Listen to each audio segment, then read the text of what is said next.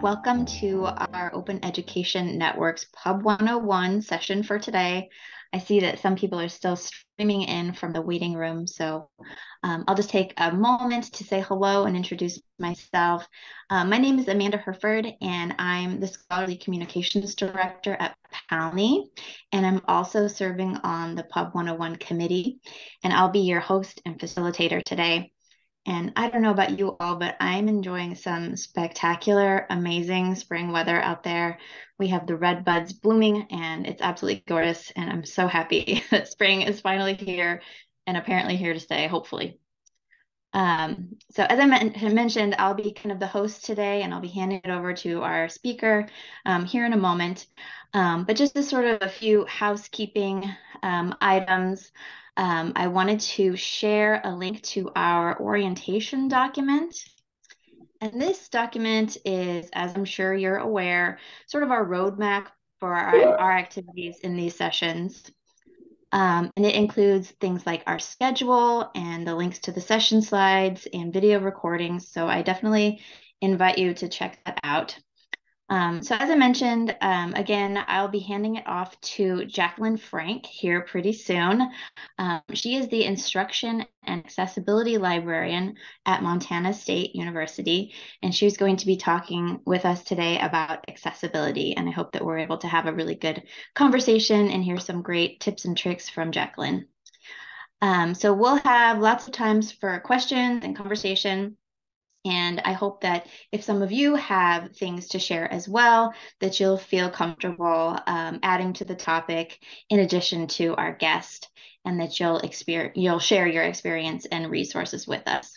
Um, so just a couple more housekeeping things. Um, this webinar is being recorded, and it's going to be added to the YouTube uh, playlist for Pub 101, and I'll share that document or I'll show that link here in a sec. Here you go. Um, so that is the link to the playlist where all of the other recordings will be found as well. Um, and another thing I wanted to mention is our community norms. We're definitely committed to providing a safe and friendly environment for you all for these sessions. So I wanted to make sure that you're aware of the community norms um, and that you'll review those and um, help us in creating this safe and constructive space to share information. So the community norms there are in the chat as well. So now I'm going to go ahead and hand it over to Jacqueline to talk to us about accessibility. Great. Thank you very much. Um, and I am also going to post a link in the chat to today's slides. Um, those will be linked from the orientation document, but are not yet. So uh, if you want the slides, there's the direct link. And I am going to share my screen and get my slides up and start presenting. So I'm happy to be here today to talk about accessibility and inclusion in open educational resources. I am Jacqueline Frank, the Instruction and Accessibility Librarian Montana State University. And today we're going to uh, briefly talk about some challenges uh, what it means to have an accessibility mindset and uh, kind of why accessibility matters in general.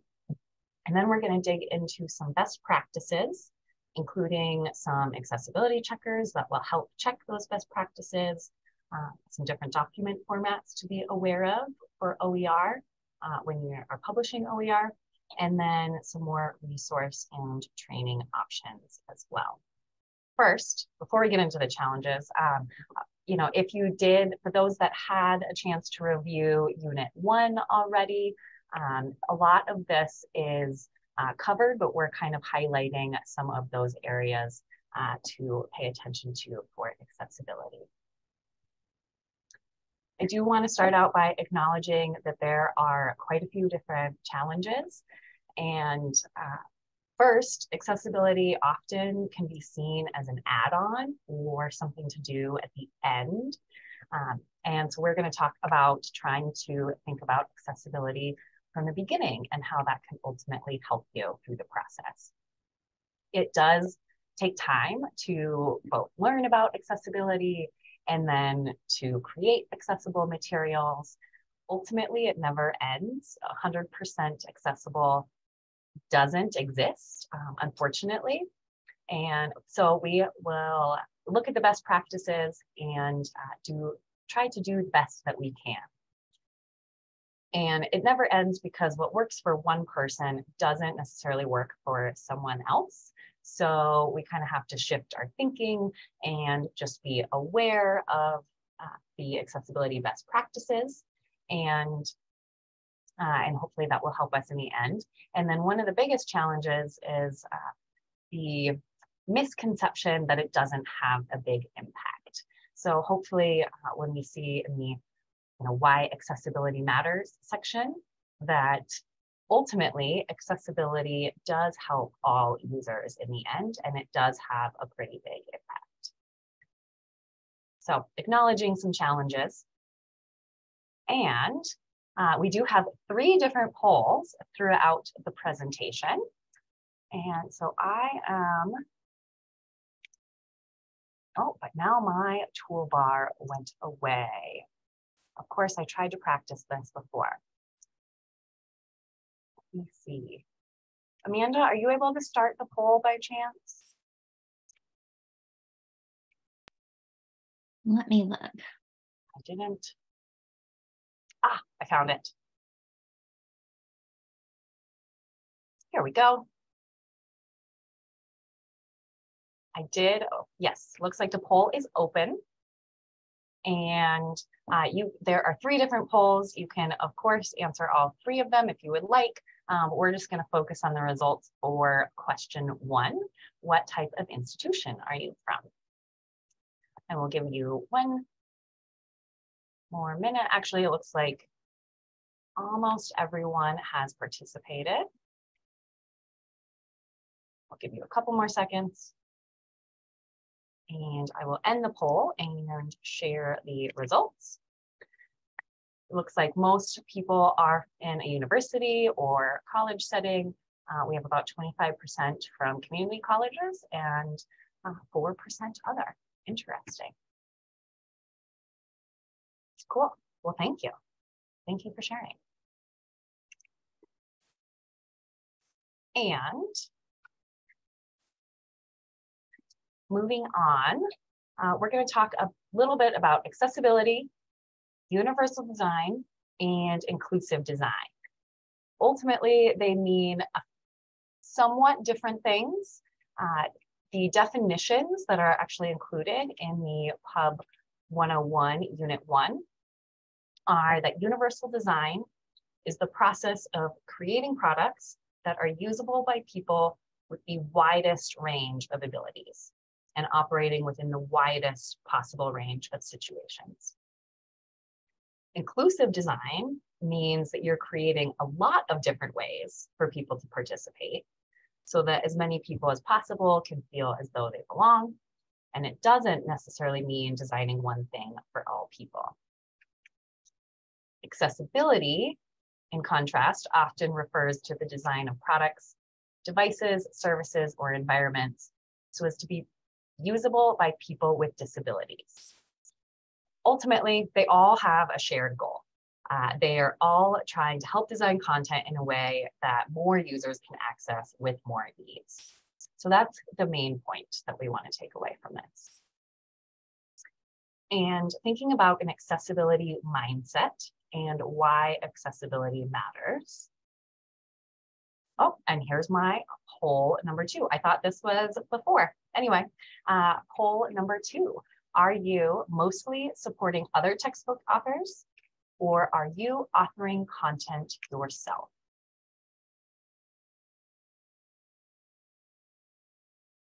And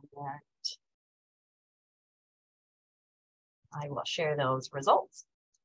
And it looks like most are supporting other textbook authors and 2% are authoring content yourself. Great. Stop sharing. Thank you. So jumping into the accessibility mindset, uh, one of the goals of creating open textbooks is that so they can be accessed by more people with fewer barriers. And therefore, we also want to follow accessibility best practices so that they can be accessible. And overall, about 19% of undergraduates report having a disability. 26% of people worldwide live with a disability. And if you really think about it, 100% will experience a disability at some point in your life if you are lucky enough to live long enough. And that, uh, that just means, and that's because accessibility can be permanent, temporary, or situational. So for example, um, we have an image here on the screen that shows the example of um, a permanent dis disability being if you only have one arm or one arm is physically disabled, but a temporary disability could be an arm injury or your arm is in a sling. And situational is if you are a new parent or you are carrying um, a child, or maybe you are carrying a big box, and therefore you only have uh, one other arm available to help.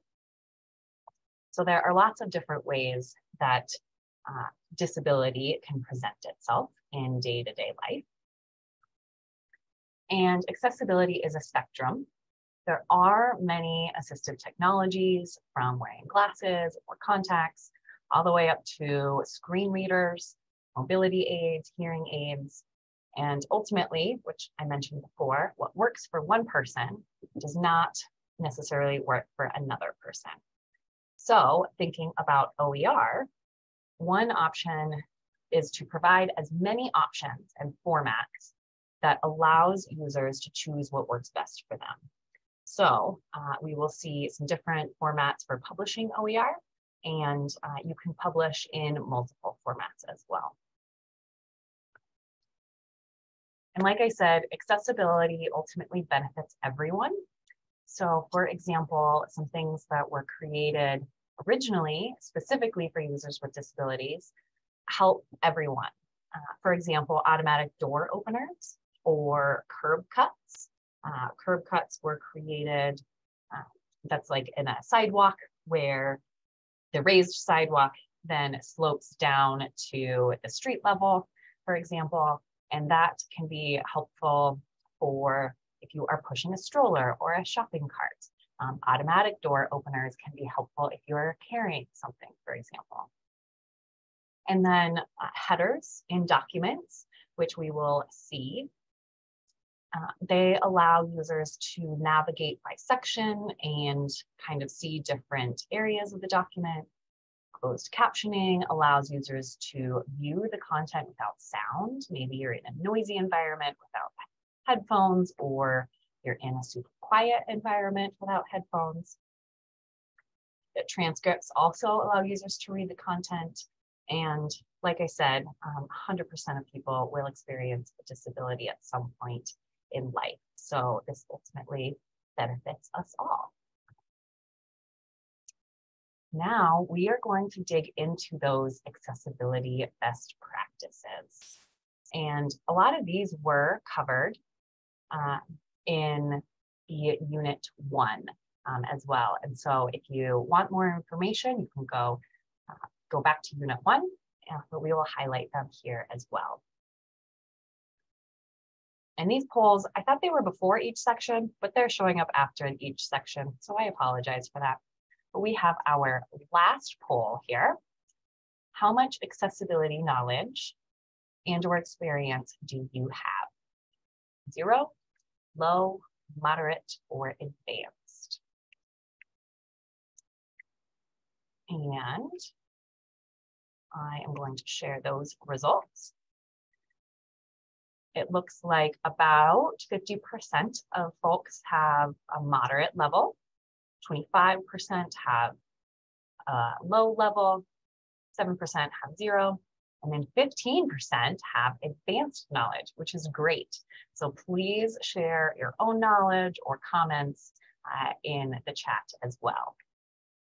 Jacqueline, while we're at a pause point, I Yeah. thought I would go ahead and ask you a question from the chat. Great. Uh, Michael asks, when you mention disability, are you referring to physical disabilities or could they also include things that are hidden?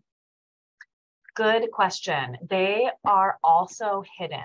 So both. Um, we are talking about physical disabilities, but also um, there the majority of disabilities are actually um, invisible, and those can include cognitive disabilities, for example, um, with dyslexia or ADHD and PTSD um, can also be categorized as disabilities. And so it is really across the spectrum.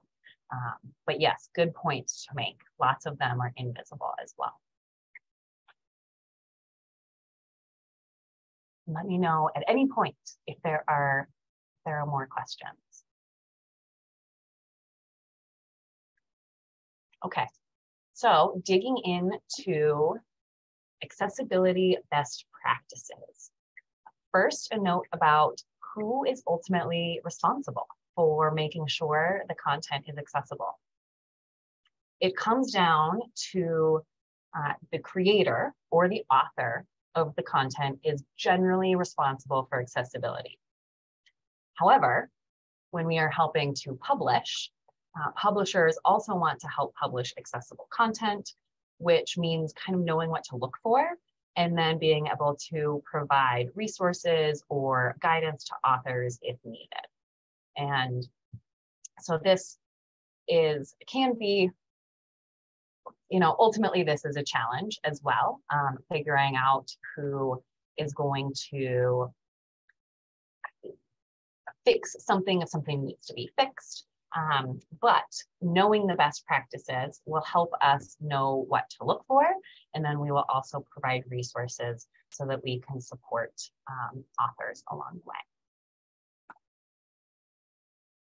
These best practices come from WCAG 2.1 now. I thought I had updated that. Um, and this is the Web Content Accessibility Guidelines. And we are going to look at the best practices for structuring headings, including meaningful hyperlinks, considering color, adding captions and transcripts, and alt text for images, which I know at least quite a few of you have already looked at because there was a homework assignment that um, people have already submitted ahead of time for alt text. Headings is one of the most important things to know about for OER. And headings are a, ultimately a formatting tool, but they are used to help separate sections of a document. They help users navigate and either visual users to see the visual formatting of the headings, or they can also be used by people with a screen reader and you can jump to different headings within the document. You apply headings in an outline format, and they kind of act as a map for the textbook or the document. So if we're thinking about a book uh, with multiple chapters, for example, the book title would be heading one. And then all of the chapter titles would be heading twos. And then if there are subsections within a chapter, those would be heading threes. So each um, under a heading two, the next heading level for a subsection would be heading three, but they can go back up, um, for example, and then the next chapter would again be a heading two. Meaningful hyperlinks. Meaningful hyperlinks means that you tell the user where the link is going uh, rather than just pasting in the full URL. And also avoiding using click here as a link and let the link be the title of the content itself. So for example, um, if you, if I was saying in a document, more information can be found at the MSU library website, I would put the link behind MSU library website. Uh, and so that link, so the text is actually the link itself. Jacqueline, can we go back to headings real quick for a question? Yes, please. Um, question here about headings. So when you say heading two, do you mean in terms of the coding? So is this something that's sort of under the hood or not? Good question. Yes, this is under the hood. Um, and for example, in Word to, uh, and oops, I'm gonna go back again. Many times um, you will select the text that would be heading two. For example, the, sorry, I keep clicking with my mouse. Um, so you would select the chapter title in your document. And um, in Word, for example, at the top in the ribbon on the Home tab, there would be a button to click to make it formatted as a heading two. It does come with some formatting options, but you can update how that formatting appears. And that is similar um, in lots of different authoring tools and technologies. Um, so yes, it is, it is behind the scenes, but when you select it, it also um, can make it change the formatting so it's also visible um, on the front end. Does that answer your question? Yes, thank you. Okay. I did pull up the chat as well, so I'll try to kind of pay attention if I see if I see other ones. But yes, please stop me along the way.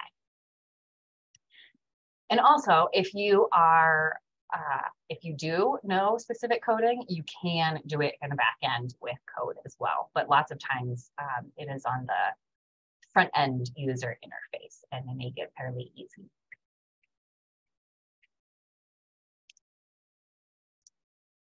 Okay, we talked about hyperlinks and also considering color. This is mainly about color contrast. And so we want to use high color contrast for both text and diagrams and charts. And then we also don't want to rely on color alone to convey meaning.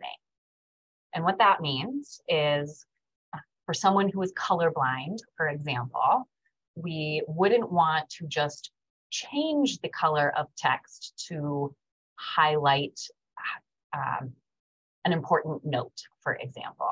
So if you wanted to highlight something that was really important, don't just change it to be the color red, for example. You would want to bold it and change the color if you would like, but the bold um, would help highlight it as well.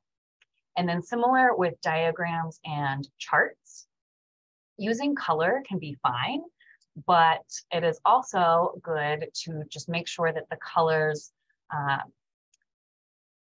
are different enough so that if they were viewed in grayscale or if someone was colorblind, they could still denote the difference between um, either the line color or the bar chart color um, and things like that.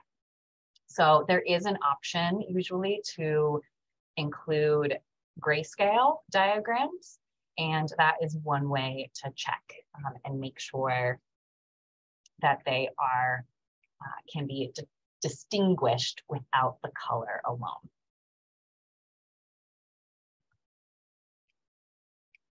Captions. Ah, I see a question. Um, in a math course, if you were creating a quiz that had a pie chart or bar chart, how would you describe the chart without giving away the question's answer? Hmm. Oh, good, good question. Um, ultimately, I'm trying to think about, I'm trying to think about that one. Um, the short answer is I'm not 100% sure. It would kind of depend on the question. So um, if, but if you could see it, if you could see the bar chart, then it, and if that is telling you the answer, then describing it um, is basically trying to describe what you can see. So the short answer, um, oh, and I see another another comment, perhaps create a table with the data and add a table header and row. Um, and that's less interpretation and more data presentation. Yes, um, that is a great recommendation as well. But ultimately, they can be they can be tricky, which we will see.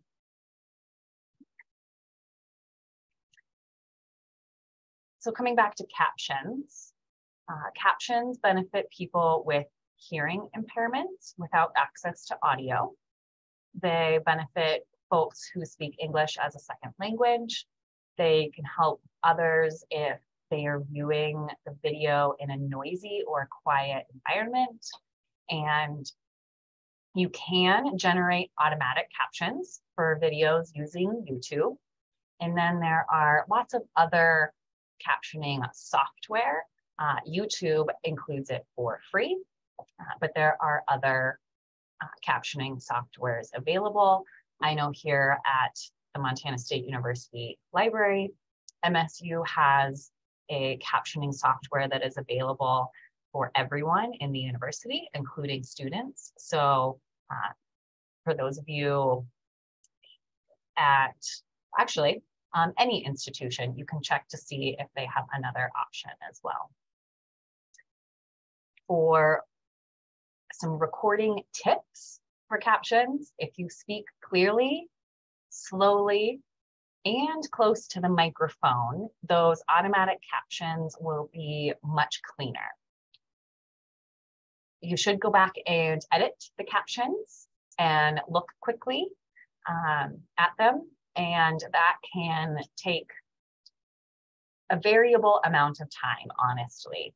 But if you are aware of using a microphone and getting good, clear audio from the beginning, that will make the automatic captions much better um, from almost every software available.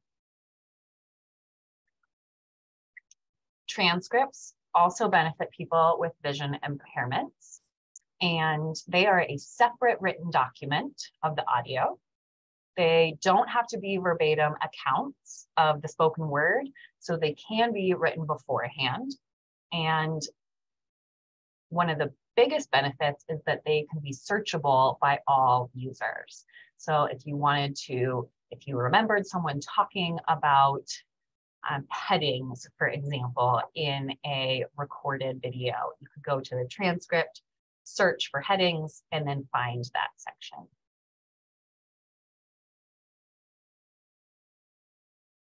Alt text for images. This is a written description of an image. It is read by screen readers in place of the image.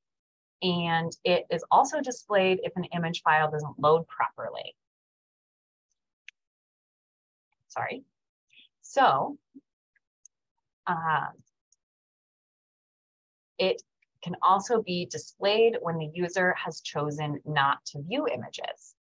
Uh, and so alt text shows up in, in many different ways.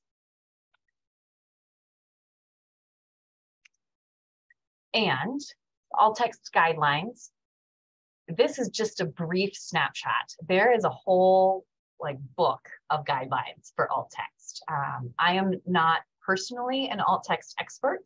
I know some of the general guidelines, um, but I will say alt text can, there are lots of different nuances to it, and it can be challenging um, to figure out exactly you know, the best way to represent the alt text. So one of the biggest things is to consider the context. Is it purely decorative? Is um, sometimes there are you know, horizontal lines in between different content, but it shows up actually as an image. And so you can mark things as decorative. And that means if you are using a screen reader um, or the image didn't load, it would just skip it completely. But if it provides context or information, then you need to include alt text. You want to be as concise as possible. Generally for a photo, for example, this is one or two sentences. You don't want to repeat information that's provided elsewhere. So if the if in the text you mentioned a yellow zebra and then you had an image of a yellow zebra, then you wouldn't necessarily need to repeat that. But you want to focus on the added information that it is presenting and then be as objective as possible. Don't try to interpret or analyze and use the same writing style and terminology as the surrounding text. So if we're thinking about writing an open textbook, for example, if it is very formal, you would want to also include alt text in a formal writing style. If it was more informal, then your alt text could be more informal in tone. Charts and graphs are much more difficult, I will admit. And ultimately, they the alt text for charts and graphs can be longer. You don't have to stick to the one to two sentences uh, for something like a chart that is super complicated. It is best to link to the full data table from the text because the full data table can, um, tables can also be made accessible. And then if the chart is, you know, compiling a table of data and showing percentages, for example, then the alt text might include those percentages. And we will, uh, if we have time, we can look at the alt text homework assignment and view a few of the alt text um, entries that you guys created. And if not, if we don't get there, I will be going into that document um, and providing feedback um, as a reply to your different comments as well.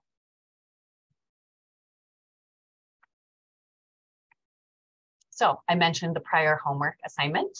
Um, if you haven't done this, uh, it is an interesting exercise to go and try your hand at writing some alt text for one of the images um, in this example. And there are more alt text guidelines under the accessibility section in the Pub 101 Unit 1. Okay, now we are going to jump into some different open textbook formats.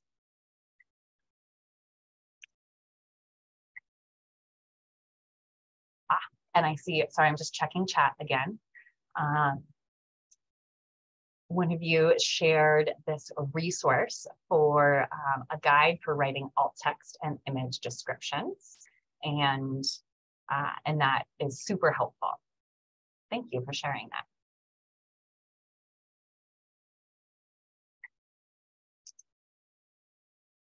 Okay, so there are many different document formats. And when we're thinking about OER, there are many different types of documents that might be included from PDF to EPUB, audiobooks, Pressbooks, um, many more. And they do all have different accessibility considerations, uh, even though the accessibility best practices for creating the original document um, are the same. So for example, enlarging text and um, options for reflowing the content or multiple columns, things like that uh, are different depending on the final output. So for example, EPUB or online and HTML web versions of a document are reflowable, meaning that if you change the font size, for example, um, it will reflow into the width of the screen that you are looking at it on. They also support vector images that resize, again, based on the screen that you are looking at, versus a PDF, which means portable document format. And the good thing is that PDFs are independent of software, hardware, operating systems, so they can be viewed on almost any device, but it maintains the original visual layout. So if you zoom in, rather than the text reflowing to be within the width that you are viewing it, um, it will just zoom into a small piece and then you will have to scroll side to side um, to, to view the whole width of the document. They do have some benefits though. They are great to be available offline and they're also good for printing. So the takeaway here is that almost always, wherever you are publishing or creating the original document, um, or if you are helping someone else publish an OER, wherever they originally created the document, you can usually save or output into multiple formats. And so it's best to just provide as many options as possible. I'm gonna click on this link and I believe I shared my screen in a way that it should be showing you um, the link to an open textbook here in the open textbook library. And this page, um, if you can see it, shows a, an open textbook for understanding document accessibility. And there are multiple formats from an online HTML version. It's available as an ebook. It's available as ODF, open document format.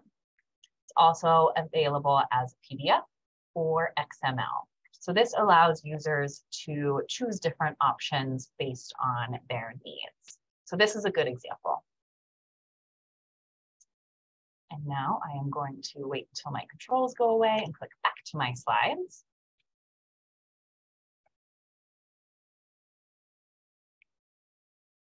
I do want to share some different accessibility checkers. So it is great to be aware of all of these best practices and um, trying to implement them throughout the process. If you are authoring it yourself, um, if you're thinking about these things up front, it can help save time. But if you are helping other authors who have created OER and you're helping publish them, then there are some accessibility checkers that you can use at the end after the fact um, and have authors use them as well to check their own content. So for example, Word um, and for that matter, PowerPoint, all Microsoft Office documents now have an accessibility checker. And in Word, you can open your document, click on File, check for issues, check accessibility. Some versions have a check accessibility button um, in a different location, but all should have it um, in this location as well. And then um, a sidebar pops up and it, you can click on any error to get instructions on how to fix the issue. There is also a PDF accessibility checker um, in Adobe Pro. Adobe Pro is the um, upgraded option. And here at MSU, for example, they have a campus-wide subscription. So check if your institution um, has Adobe Pro. And um, there is, uh, so in Adobe Pro, open your document and if needed, click the action wizard on the toolbar by clicking more tools. And then under the action wizard, there is an option to make accessible. And it brings up a pop-up box and you click through all of the different options. It will automatically highlight any images, for example, and prompt you to put in alt text if there is an alt text already. Um, and it will take you through headings. Um, and in Adobe, it will also do an important step called OCR, optical character recognition, which um, takes the PDF from an image and it tries and it recognizes the text so that the text can be searchable as well.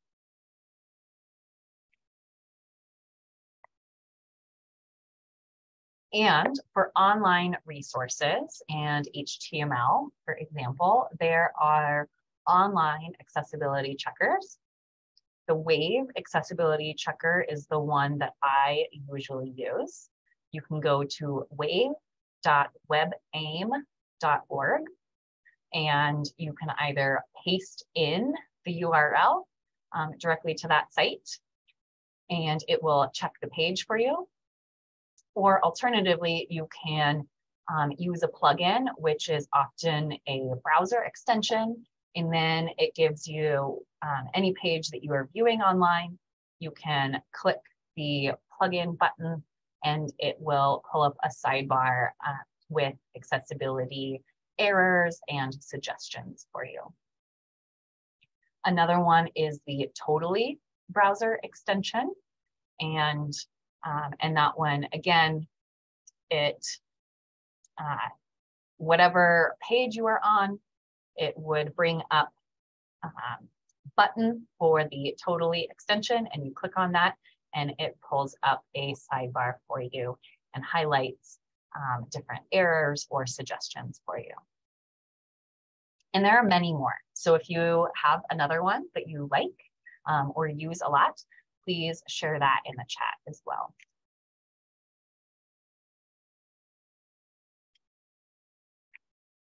I see a question here.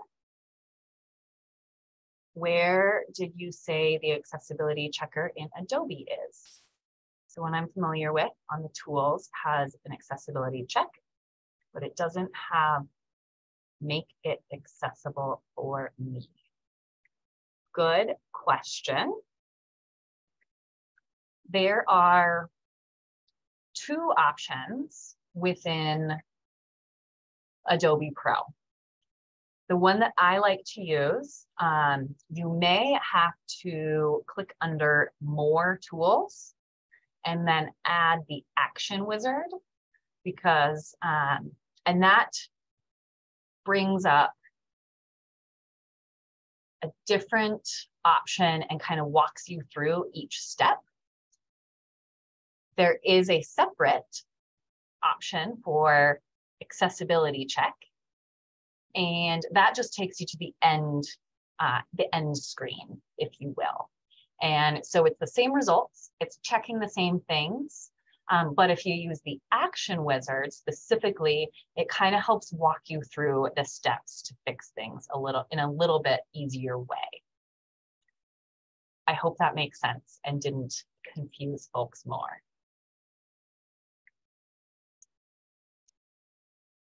And I also saw the question about the homework and it looks like Karen, uh, Karen helped answer that one. So thank you.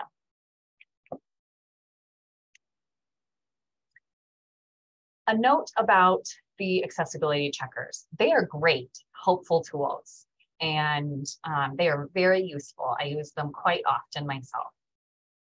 But they don't check everything. Um, color contrast for example, I believe it's now included in the Microsoft Accessibility Checker, but it wasn't initially included. um, for example. So, and it also doesn't check if headings are used in the first place. If you do use headings, it will check the order of headings. Um, but if there are just no headings used, it doesn't check that. And uh, in reading order, so for example, if you have multiple columns and maybe on a textbook, for example, you have a you know, highlighted section or a call out section that has a brief blurb about um, something extra. The reading order is the order in which the content will be read out if using a screen reader. And uh, so it can check, it will automatically apply a reading order, but it doesn't, it can't know if it actually makes sense. Um, so if there are multiple columns and at the end, there is a paragraph that continues on the next page, it might do a call out and read the information in that call out kind of in an awkward place So that's maybe in the middle of another paragraph. So there are, um, so this is just one example of how accessibility checkers are great, but they only go so far. And um, they can be used as a great tool to look at the accessibility of a document, but ultimately um, it doesn't replace a human knowing and understanding what these best practices are and then trying to implement them.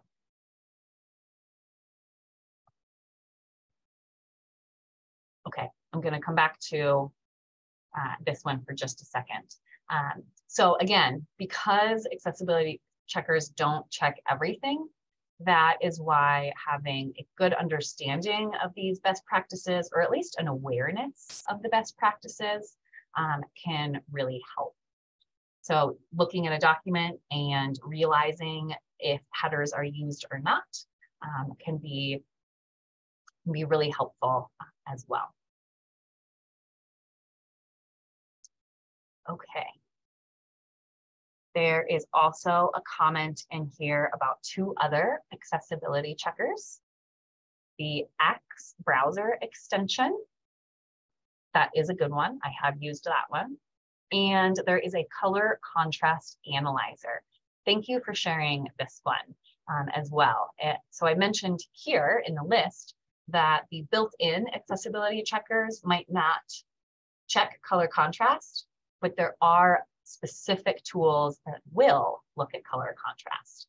Um, and so you can download that color contrast analyzer, for example, and while you are viewing your document, you can uh, pull up the analyzer, click on two different colors, and it will give you um, an, a result or if it passes the standards. Um, and so, yeah, it's really cool. It has like a dropper tool where you click one color and then you click the background color um, and it will tell you what levels it passes. And uh, there are the one that I have used, um, the, the one included in the chat, it is available as a, download application. So I have not used it on a mobile device. I don't know if that is possible, actually. Please tell me in the chat if you know. Um, but on a desktop computer, you download it um, and it's a specific application. And so you can view whatever document you are looking at and then open the color contrast analyzer and it brings up a screen um, that then you can choose the different colors in the background. So thank you for sharing those.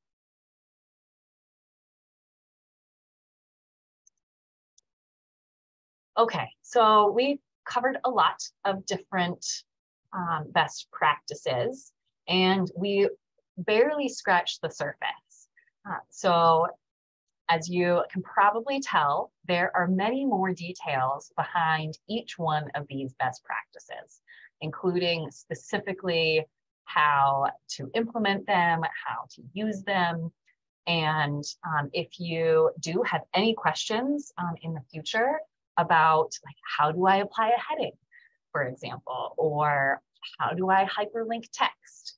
Um, how do I use the color contrast analyzer? I would be happy to provide more like step-by-step instructions for anyone who, who would like that.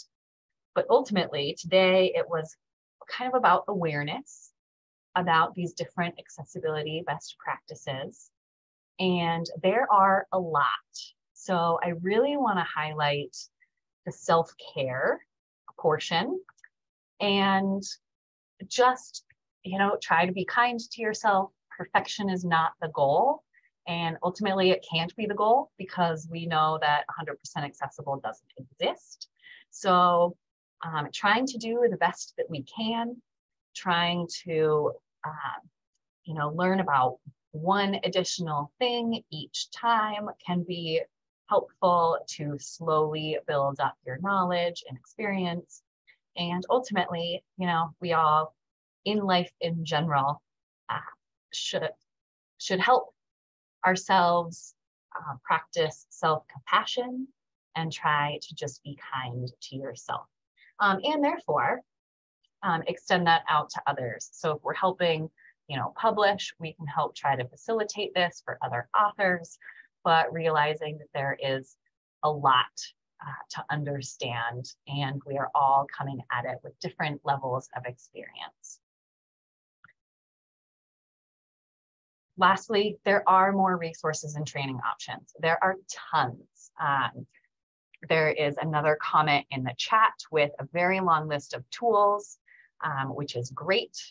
And there are specific resources linked from Pub 101 Unit 1. Um, I mentioned there are more guidelines for creating alt text and image descriptions. There is a full accessibility toolkit and checklist for accessibility. And um, we also have instructions for creating accessible documents. And that gets into more of the step-by-step um, instructions for applying these best practices. But now um, I want to make sure, give at least a few minutes of time uh, for questions and uh, if you would be willing to provide feedback as well.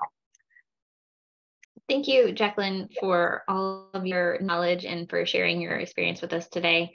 Um, like she mentioned, we are able to take questions for the next few minutes, so you can feel free to use the chat like we have been doing, or you can raise your hand and I can call on you.